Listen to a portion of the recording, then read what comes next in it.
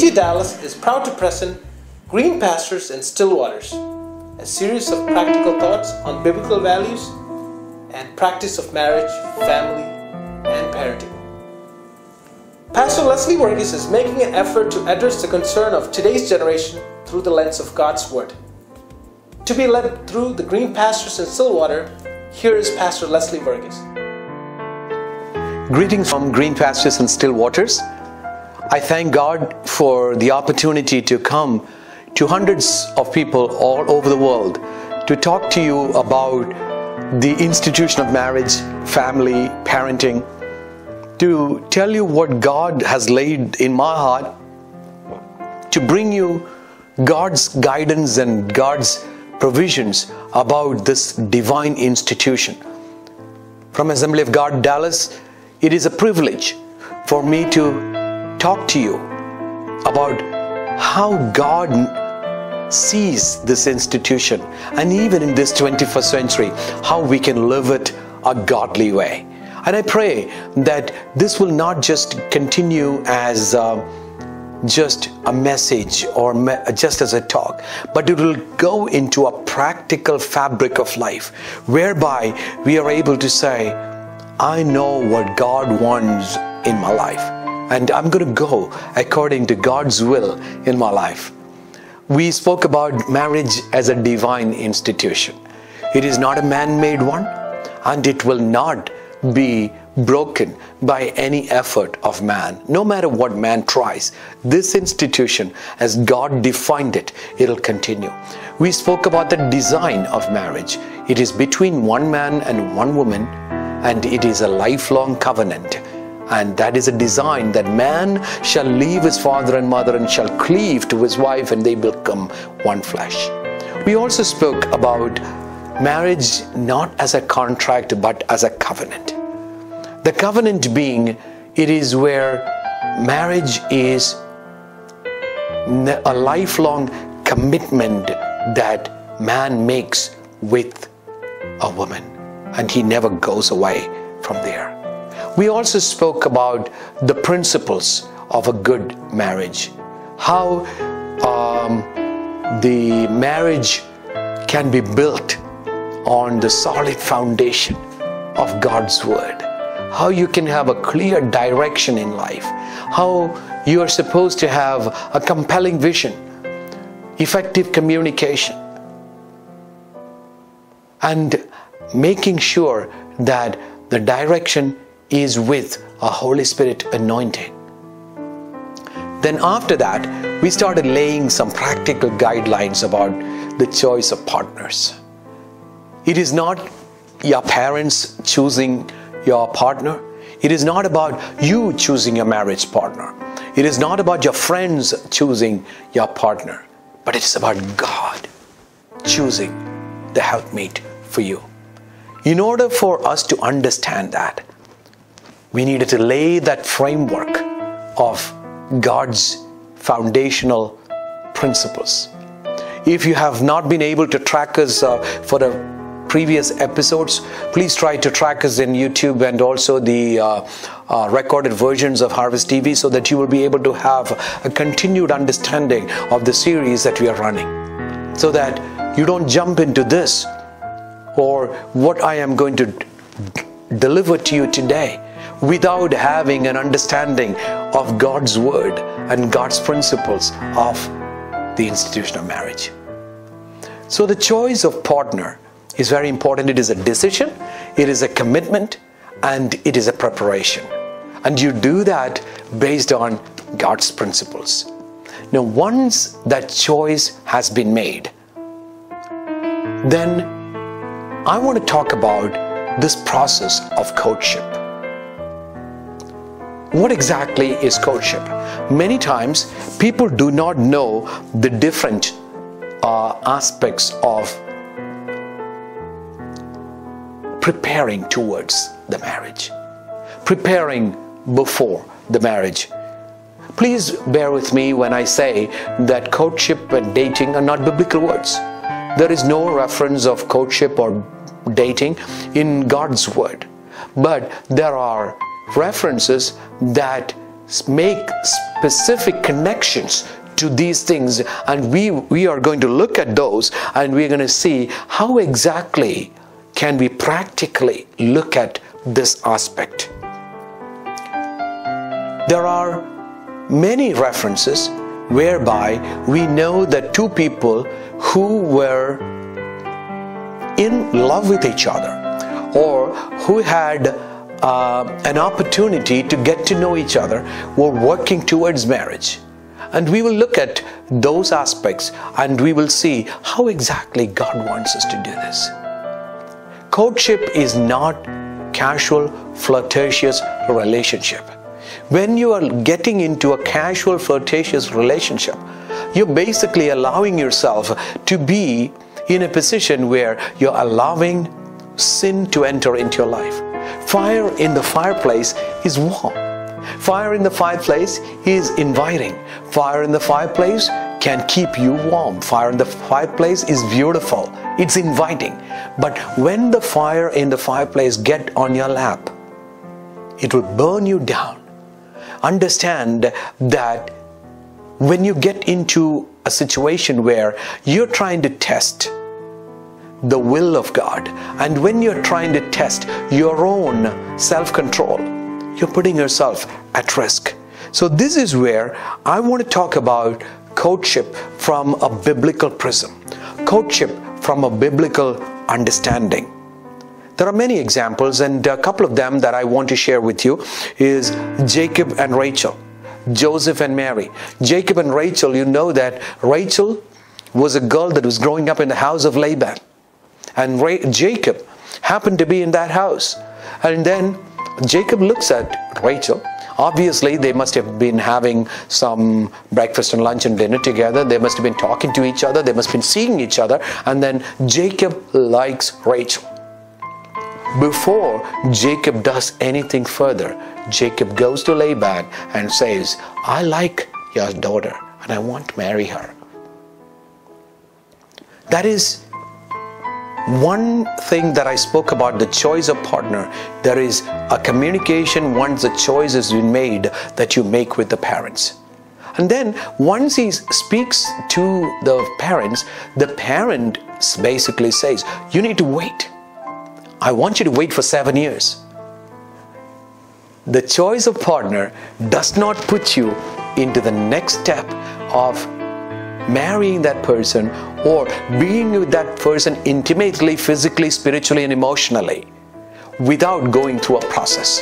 And that process is a waiting period where you have to wait patiently for God to allow to work in your life. So, courtship in often misinterpreted in our community. But if courtship is presented with clarity, if it is practiced with conviction, it will help solve some major issues that prevail in the community. Many times we don't we don't want to address it. And then what happens is that people enter into relationships and they go deeper and deeper into relationships that we cannot even prevent the disastrous inevitable event that is imminently happening in their lives.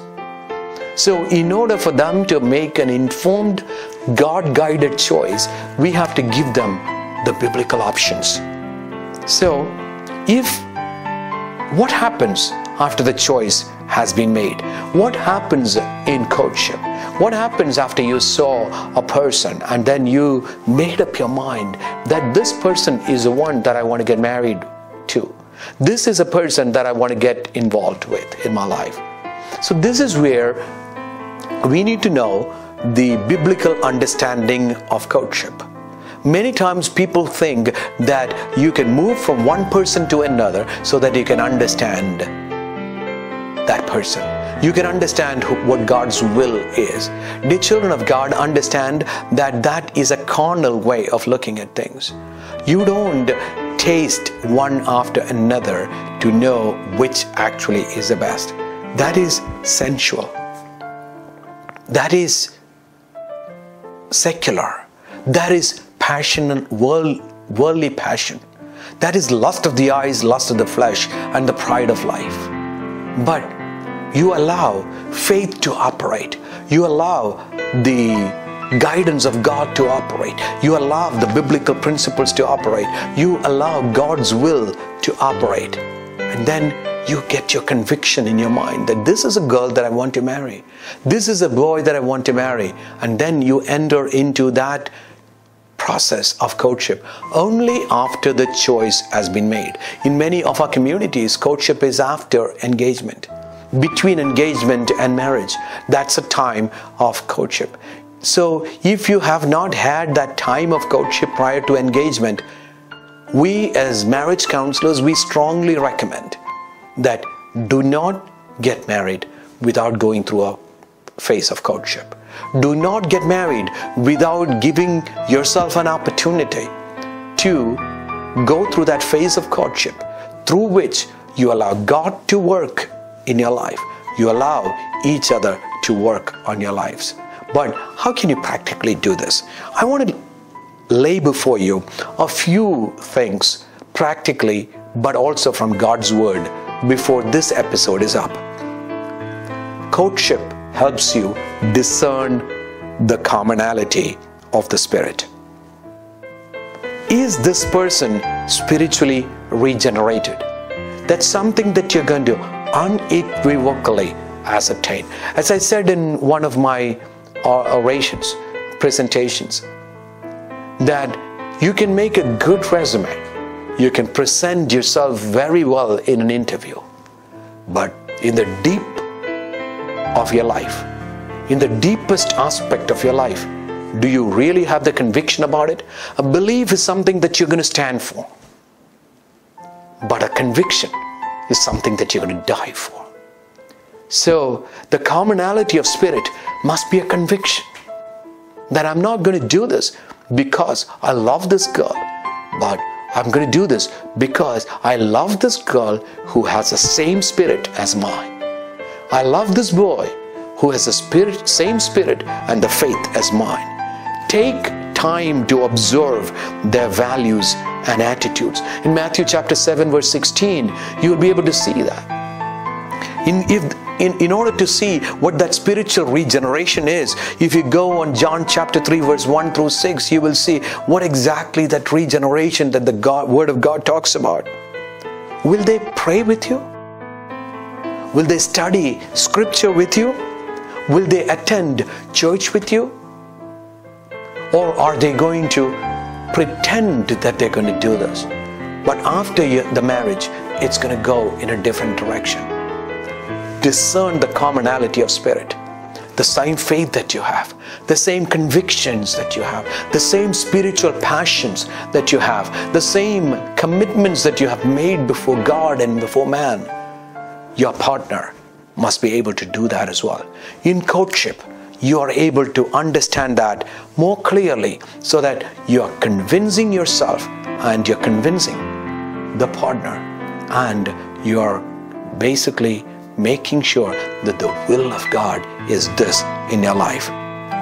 And during the courtship phase, when in order to discern the commonality of the spirits, sometimes you may not be able to do this on your own. And that's when you actually seek the counsel of a spiritual Christian counselor or a pastor who has a counseling credential. You go to that person together and say, We like each other our parents want us to get married. Our parents found each other for us. We found each other, or we had our friends hook us up. We know that we are the ones who are going to get married. But we have some questions. We just want to know what exactly is God's purpose and principle about us. And we want to share them with you. That's the time that you speak to a spiritual counselor. So, discerning commonality of spirits is an extremely crucial component of courtship. Determine the correlation of minds. A determination of the correlation of minds is very important. Do you have common interests? How many times I've seen that I do some marriage counseling uh, seminars and then I'll ask uh, four or five simple questions. I will separate the partners. They've been married for 20, 25, 30 years, older folks. And then I will um, ask those questions. What is the favorite color of your spouse? What is the favorite um, sports of your spouse? What is the favorite food of your spouse? What is the favorite vacation spot of your spouse? Things like that. And many, many times, 90 plus percentage of the time, people have not been able to get 100% right. What does it mean? You've lived for 5, 10, 15, 20 years in a row with one person, but you have not even been able to understand some of the common interest, some of the interests of the other. What the color, the food, and the and, and the vacation spot and the and the sports is, you have not paid attention to those things. In during courtship, you will be able to understand some of the common interest. So if some of them are not common, those are the times, as I said in my previous uh, um, uh, presentation, that that's the time that you're willing to make that sacrifice. I don't like cricket. I do not like basketball. But for the sake of my husband, I'm going to make an effort to start learning how to watch and how to understand basketball. So that when he wants to go to a basketball game i'm not going to sit at home and leave him there by himself but i am going to go with him. Because the word of god says do not be separated from each other except for a time of prayer if you can. So that is commonality of the interest. Also do you have the same mind of christ in us Philippians chapter 2 verse 5. And what is that? That is the mind of Christ. When he was God himself, he came into this world. He did not consider it to be robbery to be called equal with God, but he humbled himself. He came into this world. He took a lowly state and he died a wretched death for you and I. He poured himself into this world as an offering. So during that courtship phase, that sacrificial aspect of I am going to sacrifice some of my interest for the common interest of the two of us. I consider my husband to be my best friend. I consider my wife to be my best friend. Is there a common desire to renew the mind? In Romans chapter 12, verse 2, he says, Paul is beseeching the church, beseeching the bride of Christ by the mercies of God that you present yourself as a living sacrifice. Living sacrifice, which is a reasonable service of yourself to God. How? By renewing of your mind. Every day, renewing the mind so that I discern the will of God in my life. Bear in mind, when you discern the will of God, then you discern the will of your partner as well. Because if there is a commonality of spirit, if there is a commonality of interest, you discern the will of God, then you're absolutely in a position to discern the will of each other. And that's where courtship helps. Not only that, you discover the concerns of emotions. You discover the concerns of the emotions of your partner. See, many times we start with feelings. I feel that way. What is the feeling? Feeling is is something where you're actually not having a deep conviction about that. Feeling must be a byproduct of a conviction must be a byproduct of the emotion that you have within. Are your affections and your emotions directed towards the highest well being of the other person? Highest well being of my God? That is something that you discern during the time of courtship. Do you detect anger? Do you detect fear? Do you detect jealousy? Do you detect unforgiving attitude? Do you detect um, devious behavior? Do you detect lack of candidness? Do you detect trans- lack of transparency? Do you detect deception? All those things you're able to discover during that courtship phase where you're discerning the emotions. Not only that, you develop commitment of will. You develop a commitment of the wills with each other. Are there common objectives? What is our compelling vision for our family? Where do we want to go to from here? What are our priorities? Many times, people enter into marriage without even looking into what they want in their lives. Our family, our children, where do we want to settle down? What exactly should be our common goal? What type of ministerial path that we have to take? How do we want to bring up our children? Where do we want to settle down? How, what type of houses that we want to build or make? What type of um, educational career paths that we have to take? All those objectives and priorities can be discussed and reviewed and agreed upon. Changes be made during the courtship phase. By doing so, you're allowing yourself to prevent yourself from adding to the conflicts after marriage because your roles change immediately after marriage. You were a son before, now you become a son and a husband.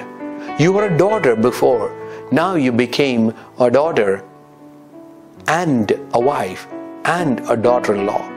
Soon you will become an addition, additionally, you will become a father. You will become a mother. There are so many role changes that are going to take place. Have you looked at these things?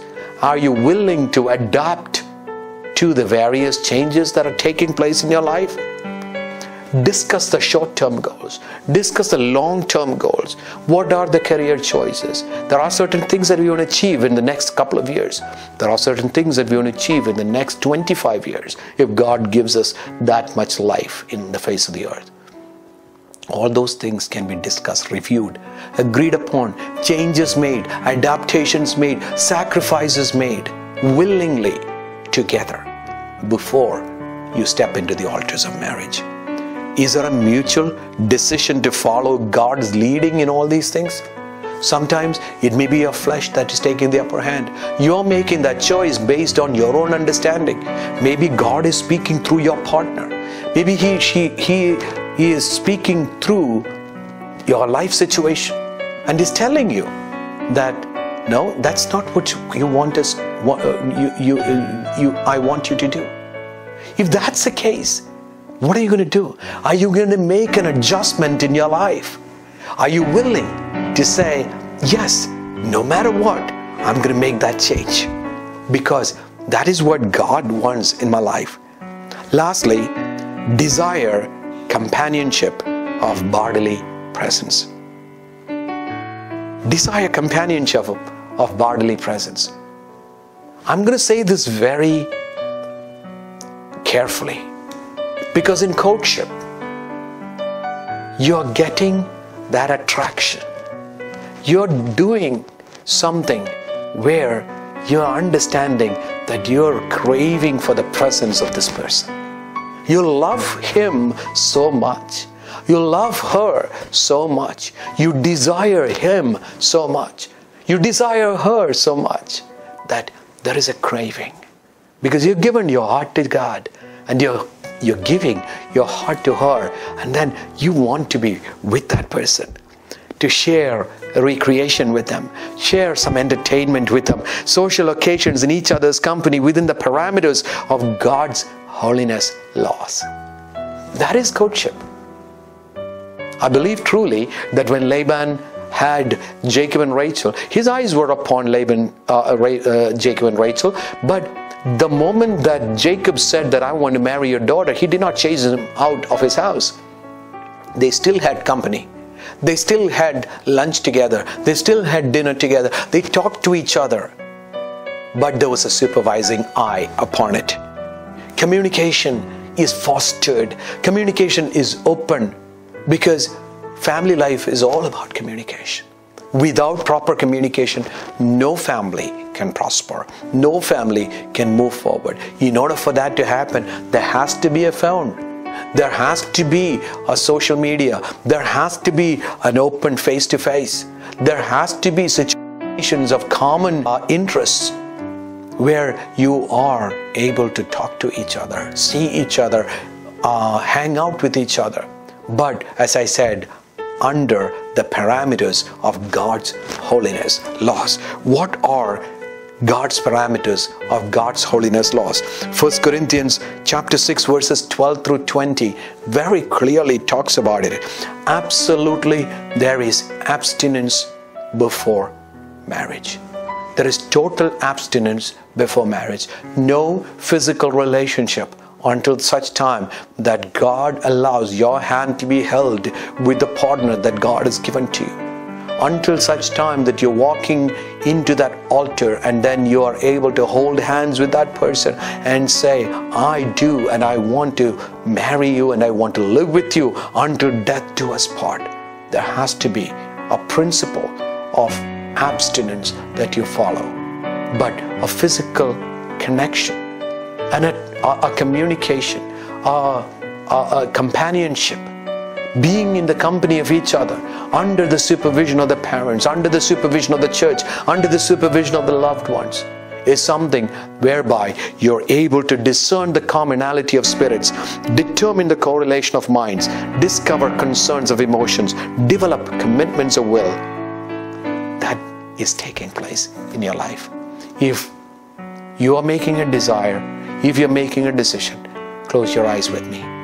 Father, we thank you for your unchanging holy laws that no man, no woman enters into marriage without following the principles of abstinence. We understand that you want us to continue to relate to each other so that we can understand each other, but at the same time, keeping the laws of holiness unabated, completely followed in our lives. To the principle of holiness and separation, to the principles of abstinence, we completely submit and dedicate ourselves so that our time of courtship, our time of relationship, before we step into the altars of marriage, will be preserved by the holy laws of God. In Jesus' name, amen. We believe that this episode of Green Pastures and Still Waters continue to bless you. Until next week, the same time on the same station, walk in green pastures and still waters. Thank you.